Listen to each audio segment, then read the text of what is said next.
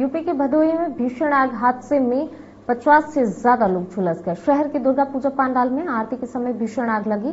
बताया जा रहा है, आरती के दौरान पूजा पंडाल में लगभग 150 लोग मौजूद थे।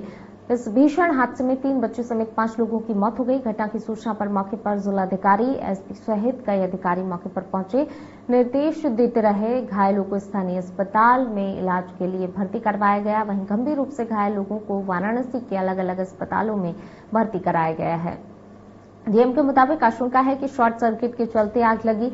दमकल की टीम ने कड़ी मशक्कत के बाद आग पर काबू पाया। प्रदेश के मुख्यमंत्री योगी आदित्यनाथ ने जिलाधिकारी से हादसे के बारे में जानकारी ली और झुलसे लोगों के बेहतर इलाज का प्रबंध करने के निर्देश दिए।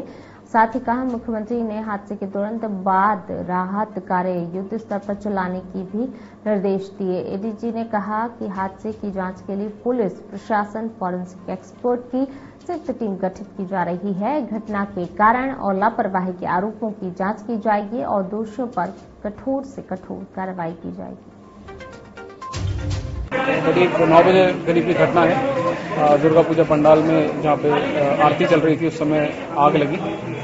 करीब डेढ़ सौ लोग वहाँ पे उस समय मौजूद थे।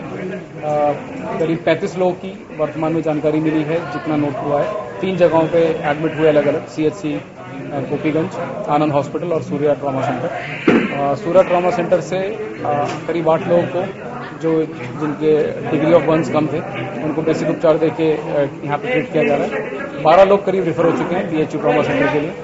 इसके अलावा आनंद से भी करीब सात लोग रेफर हो चुके हैं। तो इस हिसाब से करीब बीस लोग टोटल हम लोग बी एच यू में रेफर कर चुके हैं।